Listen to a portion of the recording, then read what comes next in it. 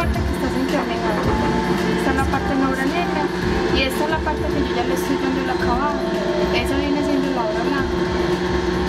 Entonces ya la finalizada es esta, ya después nos seguimos con el proceso de lavado.